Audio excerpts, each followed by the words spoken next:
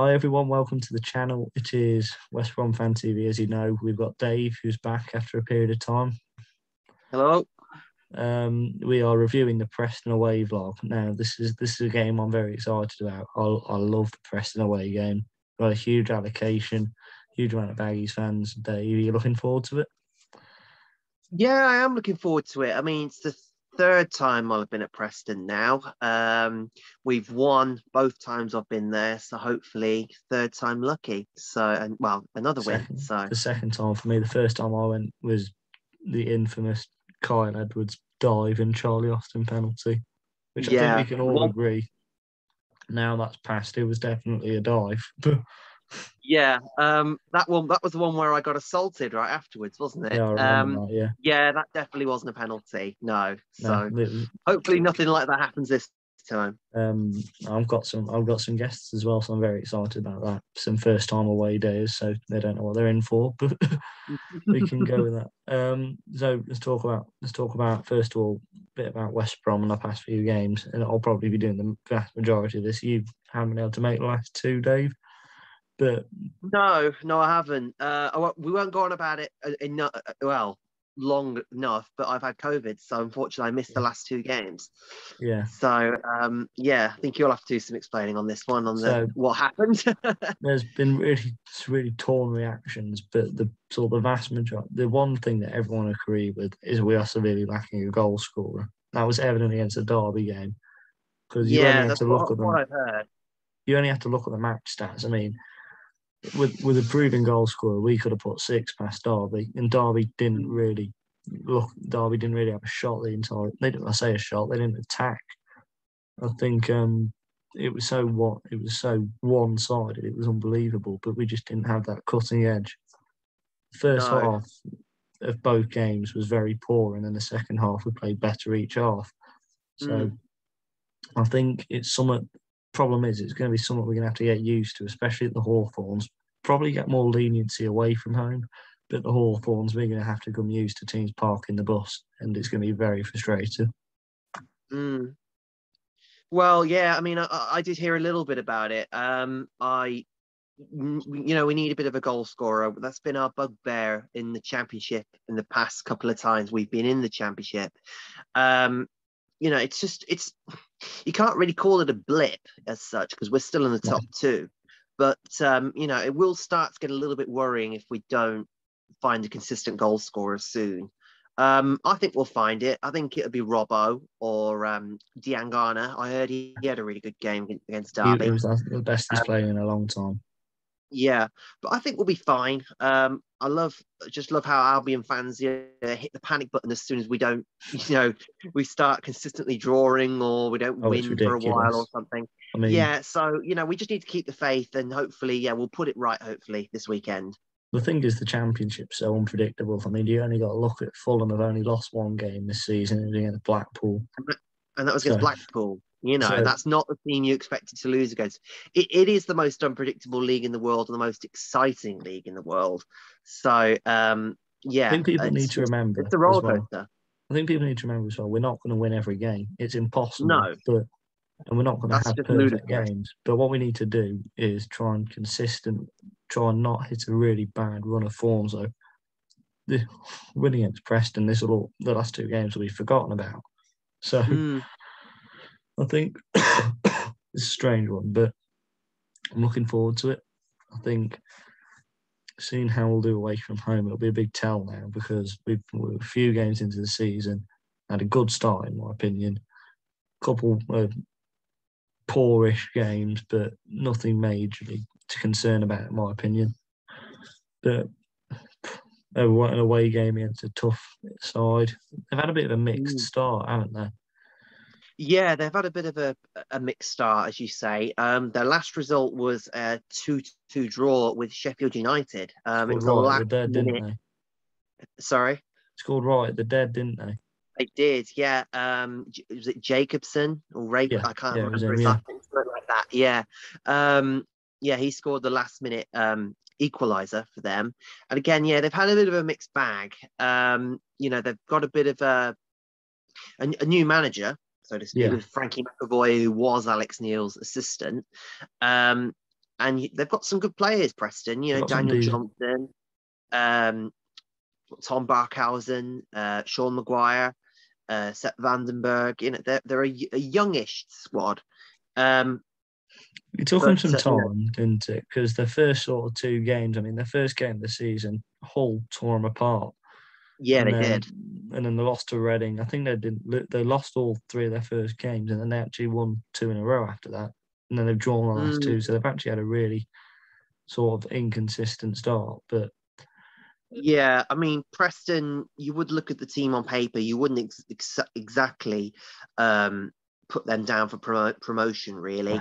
Yeah. Um, so, you know, I, th- I think they'll be mid table personally. Um, but, um, you, you know, the last couple of times we've played and they've been a bit of a threat. I mean, they were hard to break down the last time when we won 1 0 and they didn't give up. Obviously, there was that 3 2, yeah, which was about three odd years ago now it's a great um, game that was.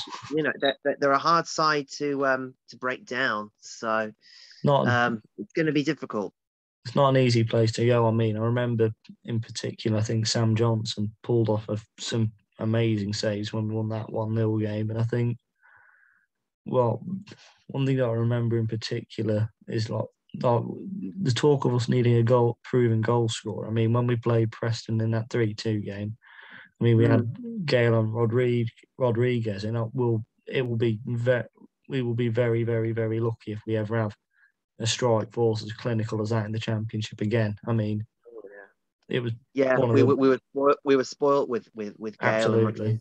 But, one of uh, those would have been amazing, but the fact we have both in the championship, I can't. yeah, and we still didn't go up. I know. so um yeah it's, it's a different scenario this time obviously. Um there's a few things obviously we need to put right. We need to get a good goal scorer. Um and i think as well with o'shea out Yeah. we kind of need to sort of um solidify our defense a little bit which is it's going to be difficult but um we kind of need to find out whether you know Kipre is the answer at, at centre back or whether um we give Kean Bryan a go Yeah, now I I don't know, but um, you know his name has been muttered a few times. I'm- Um, but when is the when will be the right time to to get him in? I know nothing about Kean Bryan. I know he's I know he's a left-footed sort of athletic. I mean, we've we went to the Bournemouth game when Kipre played together. We we went to that game and Kipre got Mm. some criticism, and we both said we both thought it was a little bit unfair the Mm. criticism Kipre got. So it'll be interesting to see what he does. But Mm, one thing we one thing we do know is that Matt Clarke and O'Shea gone is a big miss because when all three Yeah. of them played against um, Sheffield United, they, Sheffield United couldn't break the back line. They couldn't get through. And um, it was the first sort of 30, 40 minutes against Blackburn before Clarke picked up the injury. They, they didn't really have a chance. And we they've Yeah. been very, very, very clean, that sort of back three. But it, O'Shea's gone until probably the new year. And Clarke's probably got two Um, more weeks. I'm not sure on O'Shea if I'm being honest. Uh, I did. I, I was watching the game, the Ireland Portugal game, when he got injured, and it looked bad. I mean. I- it, it was. You saw him get up, and then he went straight back down again. You knew it was bad. Um, I'd say New Year, but I don't know. I've got a terrible feeling that it'll be about February, March until we get O'Shea back. Um, I mean, Clarke hopefully will get back a lot sooner. Yeah. Um, and we do we do need one of them back. We well, obviously it'll be Clarke who comes back quicker. Um, we do need him back because you know our, our squad is paper thin, and we can't Yeah. afford too many more injuries. Um, so yeah, we do need not- him back. Another issue is Semi Ajayi is because of this, apart from the game against Derby where Reach played, Semi Ajayi has actually been playing on the left side of the centre back of a back three. But he's right footed and Mm. that hasn't worked very well at all. So bring Clarke back in. uh, Ajayi goes Ajayi goes onto his strongest side. Could be a bit of improvement there. But it's tough to Yeah. tell. No, it's it's uh, we're only we're only what seven eight games in Yeah. so far. So you know we we we it's it's still a sort of transitional period really. I mean we've started very very well don't get me wrong. We're we're in seventh uh, seventh second place. We're unbeaten. Best start Um, we've had to a championship season as well, actually. yeah so you know we, we're doing really really well and we're kind of you know us and fulham and bournemouth we're kind of the pace setters in the championship. Um you know uh, it's not time. I mean it's been two draws but there's no need to hit the panic button just No, yet. not at all. Um you know it's just it's just one of those things you know we're, we're going to have ups we're going to have downs it is a rock going to be a roller coaster They do season. sometimes. You do sometimes say as well. It sometimes takes a couple of bad games to to improve you as well. Because yeah. the thing is, we we well, apart from a selection of Albion fans, at least you, you've got to remember that you can't have a perfect team overnight. There've got to be bumps and stuff. So no you no take you some got to think you got to think this is a team that's come down from the premiership. There's been a lot of you know uh, out, outgoings and incomings kind of thing. New manager new backroom staff new everything pretty much Yeah. new league.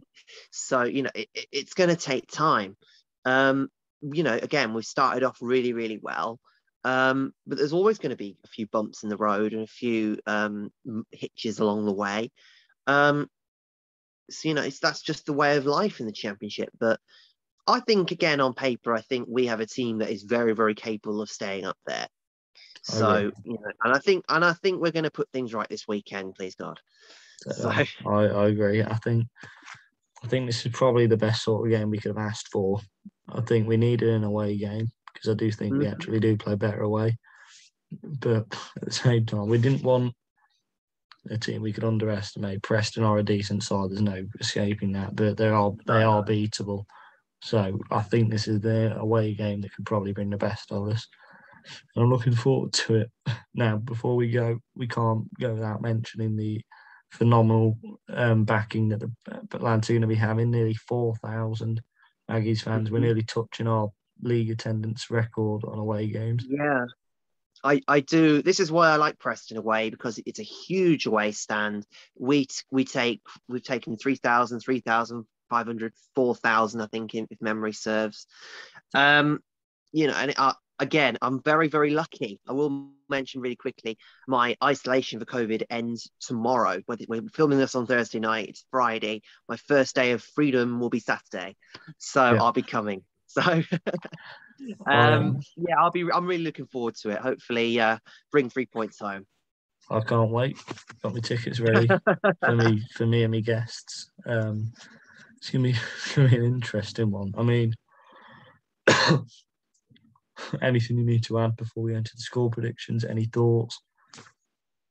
I just hope that the Albion fans bring their voices and uh, back the boys the whole 90 minutes. So, and, you know, we'll hopefully at the end by uh, five o'clock we'll be bringing those three points home. So, No we ninety just need. We need your support.